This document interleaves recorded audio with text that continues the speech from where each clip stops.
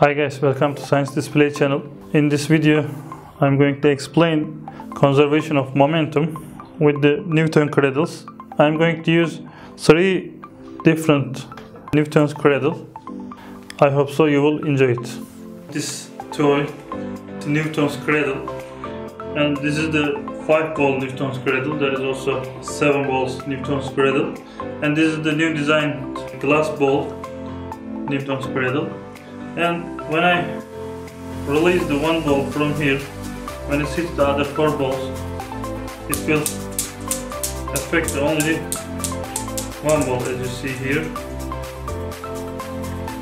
When I release two balls it will affect from other side two balls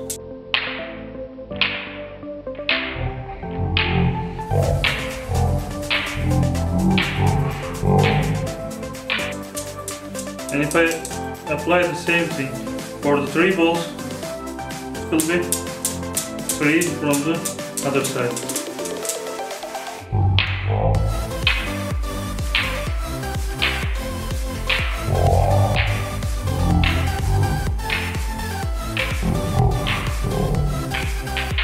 And if I do the same things for the four balls look at that at the beginning the four ball they are stationary.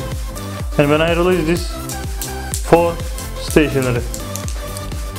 And if I release four balls and one is stationary now you are going to see only one ball stationary. This explains the conservation of momentum. And we can try it with the other Newton's cradle this is the metal one. Let's do with only two balls. You can see the same effect.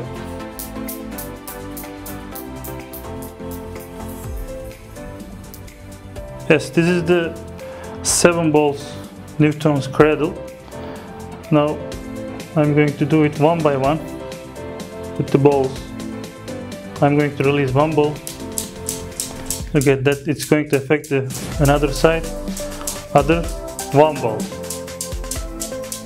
Yeah. Now I'm going to make same thing with two ball with three ball with four balls. With two balls. Two by two. We do it with the three balls. Three by two. No three by three and now four balls. Four by four. Yes. From both sides if I release one ball but I have to do it at the same time. Look at that.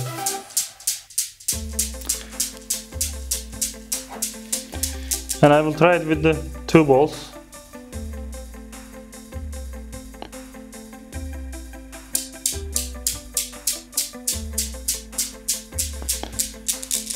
and I will try it with three balls for both sides.